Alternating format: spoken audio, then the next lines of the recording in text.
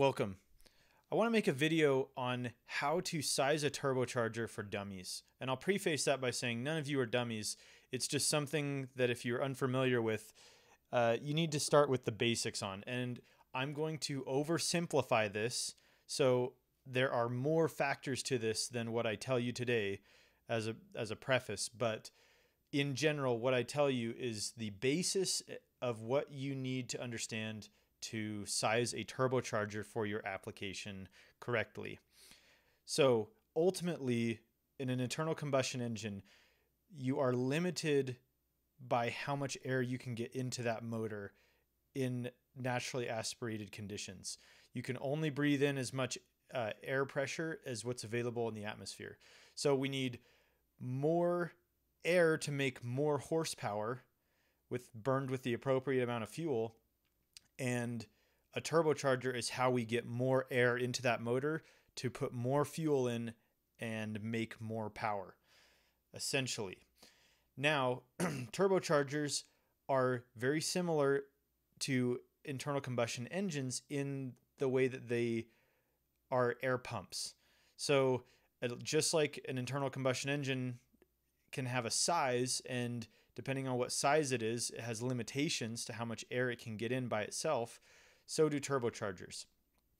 Turbochargers can range from tiny little things that have compressor wheels the size of a quarter to gigantic uh, airship or, or uh, you know ship motors that are the impellers the size of your room. So there's a vast range of these air pumps, but all they're doing is adding more air to an internal combustion engine to make more power. So, what what does that lead us to? Well, they're rated by how much air they can move, and they can calculate how much horsepower you can make with an appropriate amount of fuel by how much air you are ingesting into an engine. So, uh, we just need to know how much horsepower you want to make. The bottom line is with any turbocharger, anything that you are trying to understand is I want to know how much horsepower I want in my vehicle. And that's the first thing we need to know to size a turbocharger. Uh, there are many other factors, but if you say, I want 500 horsepower, great. We can't get you a horsepower, uh, a turbocharger that makes 400 horsepower. We have to get you one that makes 500 or more. So that's really what, this boils down to. And the other thing I would like to stress is using primary resources. So when you're selecting a turbocharger, there's many companies out there that sell them. So you can see like AGP Turbo. I have purchased from them before. These people are great uh, to ask questions as a primary resource. So say you have a two liter Honda motor that you want to make 600 horsepower on. You could call this company ask them or tell them your situation, what motor you have, and they can suggest you a turbocharger. They sell a plethora of turbochargers from all different brands, and they would be able to size a turbocharger and get you the right AR housing, the exhaust turbine housing, uh, that's appropriate for your your application. So there is a lot of garbage on the internet, and you can avoid that by going to primary resources and just asking the right people. The other thing you can do is educate yourself. So Garrett uh, Motion has a whole section in the racing and performance on how to choose a turbo, and they have this section called Turbo Tech, where you can learn the basics of turbocharging, what uh, you know, what certain components of turbos do, and why they need to be made out of special materials, some of the physics that goes behind it. There is a whole bunch that you can learn about the basics of turbos that will give you a, a better understanding of why you're putting a turbo in your car. Yes, we all just want to get out there and make power, but there's actually a lot to learn and there's ways to find out good quality information. And that's by going to primary resources like people that sell turbochargers in the racing industry that know what they're doing and by using primary resources like Garrett Motion or Borg Warner.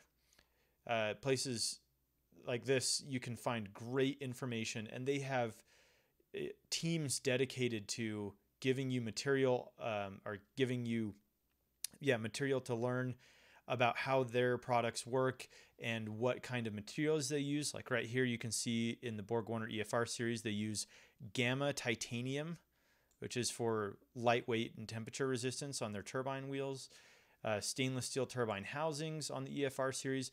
All this stuff you can find out uh, pretty easily just by, you know, Googling the turbocharger manufacturer that you're planning to use. Obviously, a lot of us like the Chinese turbos, and you can even go find a place that reputably sells them, like VS Racing, and ask them as well. You could call these guys up, say, I want to make 700 horsepower on a, a turbo six liter LS. They will know exactly which turbocharger to set you up with, and they can tell you quite easily.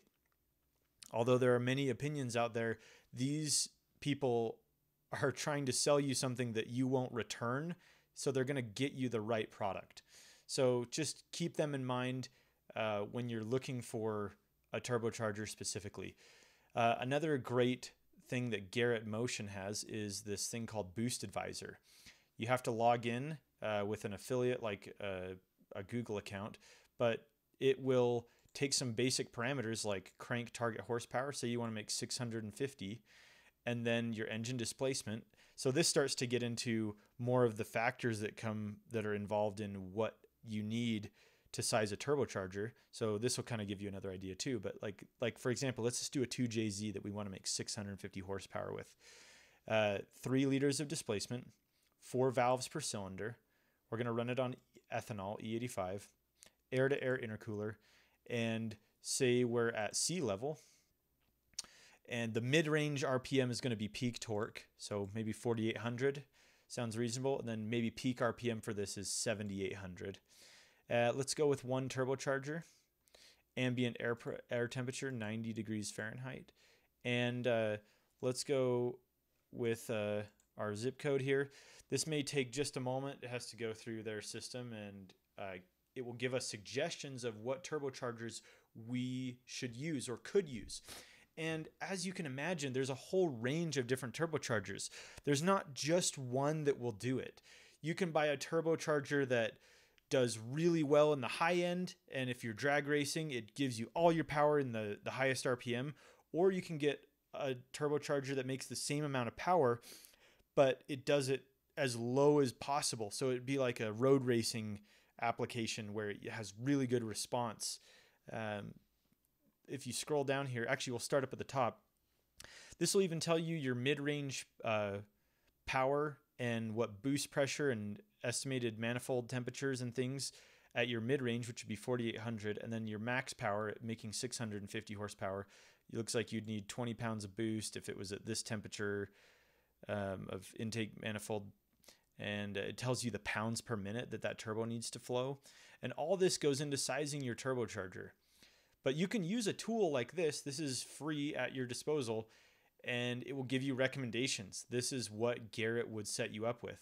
And uh, you can even look at, for example, you can even look at the compressor map and it will show you where this turbocharger is going, going to shine for that particular horsepower level on that engine. And this center island right here is the most efficient range that the turbo can operate. And you can see right here, most of the operational range of this turbocharger is right where your motor and horsepower goals meet. So this would be a great option for making 650 horsepower on a three liter uh, twin cam 2JZ. Uh, there's also there's a lot that goes into this, but this is just another tool. This is another way for you to kind of learn about this and get educated as you're making your decision on what turbocharger that you want to use. As you can see in here, even though we only want to make 600, uh, 600 horsepower, we could get an 1100 horsepower flywheel horsepower capable turbo and it would still make 600 horsepower, but it would just do it uh, in a different in a different way. It would probably only come in at the very top end of of your engine, but that might be something you want for drag racing. So with this being said, my biggest takeaway is you just need to have a goal know how much horsepower you want to make know where you want to make that power if you want it to come on snappy and low or if you want to just have a high end like drag racing application. All those things are accounted for but if you know how much horsepower you want to make you can easily find a turbocharger that will that will do the job just by doing a couple quick searches and finding some uh, primary resources another example like borg warner here they have a power range where you can look at what their turbos provide. So right here, it will tell you the frame size, the part number, what millimeter the turbocharger is. Like this 83 millimeter will make 750 horsepower. Uh, and every turbocharger is different. It's horses for courses. There are many that will that will do the job, but you always need larger than your goal. Uh, usually 10 to 15% larger to make up for uh, drivetrain loss if you're trying to get a wheel horsepower number. Um, but a lot of the time, a turbocharger company like AGP or VS Racing, uh, a bunch of other vendors, they're probably going to try to get you a turbo that has some overhead. So if you only wanted to make 500 horsepower, uh, you know, you could really tell them, hey, I don't want to make any more. I want to make 500 and that's it. But typically if you said that they would try to get you something that makes 600 gives you a little bit of leeway so if you want to make more power later you can and you won't be dissatisfied so i hope that you learned something from this i really appreciate your support and watching this video if you like what you see you like learning about this and you want to learn with me please consider subscribing. It really helps me grow the channel. Uh, i just barely hit uh, my goal of being able to uh, get this channel monetized and get a thousand subscribers and it really helps me out. I appreciate all you guys do. Uh, leave a comment if you have any questions about this and i could try to point you in the right direction. Thanks